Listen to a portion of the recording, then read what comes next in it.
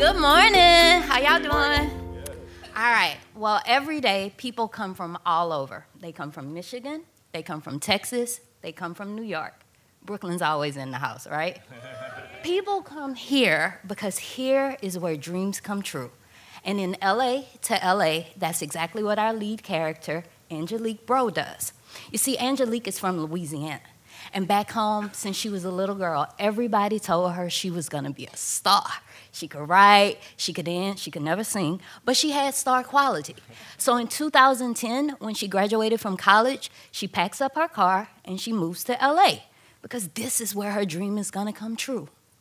Except when she gets to LA, she figures out she's a very small fish in this huge, vast ocean that we call Hollywood. Nothing is working. She tries to go on auditions. She doesn't have the right look. She's too this, she's too that, and she's way, way country. No one is feeling her. And on top of that, she's broke. I mean, like really broke. Like the landlord knocking on the door broke. The lights are flickering. She can't pay her bills broke. Nothing is going right, and this dream has turned into a nightmare. So one day, randomly, she's been here for a year, things aren't working. She gets a call from her grandma. And her grandma is super excited because the film industry has come to Louisiana and it's booming. They're actually filming a movie in the next town over, and Granny and her friends are gonna be extras. She makes, she, she makes some random comment about how people should always wanna come home and invest in what's going on at home. And this gets the wheels turning for Angelique. And once again, she packs up her little car and she goes I 10, this time going southeast, and she finds herself back at home. But when she's home, she remembers all the reasons she left. It's a small town. The stores close at 9, the speed limit is 45, and everybody is always trying to feed her because, girl, you went to LA and got way too skinny. So um, now that Angelique is back home, she's confronted with everything that she left. And, you know, all these dreams that she had that used to fuel her are now depressing her. But it's home. And when you're at home, there are people who love you no matter what. So she's got her family, she's got her friends, and she's got a high school principal that always believed in her. So he gives her an opportunity. Why don't you come to the school? You could teach drama to the kids after school. Of course, she's like, No, I'm like a star. I don't have time to be working with these kids. But of course, she goes, she falls in love with them because these kids are artists, just like she was. And as much as she's teaching them acting and technique, they're teaching her about this new thing because remember it's like 2011 and YouTube is popping. So they teach her about YouTube. Together they create a web series starring the kids and this new creativity, it calms down the self-doubt that Angelique has been feeling. It also calms down her adversaries. You know, the girl who stayed home and became big deal around town, who of course is the parent of one of her star students. She also finds help from the very cute and still single basketball coach who used to be her boyfriend back in the day.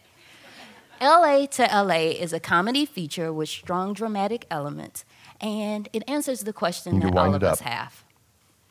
It answers the question that all of us have. Is the thing that we search for in the big city attainable and possible right here at home? I'm Davita Chanel Smith, and this is LA to LA. Wow. Great job. Um, you should start the pitch off with letting us know whether it, whether it's a feature or, you know, an episodic project. Because you didn't say that till the end, so I, I, was confused as as to where we were going. Uh, so start your pitch off with that. well, I like your story. I I, I think it is uh, one that I'm a little bit familiar with, so it, it doesn't feel particularly original. However, um, I'd like to know and, is, is any of the story that you're telling me backstory? Because you've, you've gone on a journey with, with uh, this young woman. She's come to LA. Is this, it, are we seeing her as she's coming back to Louisiana? In other words, is some of this done in a very, very brief, um, in, a, in a very brief uh, start to the movie, and then um, we get into the story when she comes back home?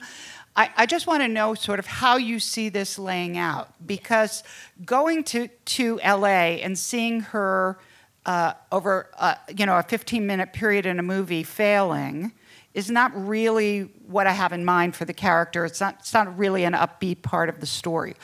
Um, so I'd, I'd like to suggest to you that you lay some of that out as a backstory. Okay. And then, you know, maybe we pick her up as she's driving back to Louisiana, having not succeeded in LA, and then picking up, you know, in her grandma's house when she arrives home. And, you know, so, so we get a sense of the, the other characters in her life, um, kind of where she is as she arrives, and then um, decisions that she has to make in order to get her, her life back on track. Since it's a feature, it's got a beginning, middle, and end. And, um, you know, I, I'd like to know a little bit more about how the story plays out once she's home and she interacts with the old boyfriend and she interacts with the old rival, etc. I'd like to know more about that um, because I, I want to I want to understand how this movie builds and why, in fact, I would be interested in watching it all the way through.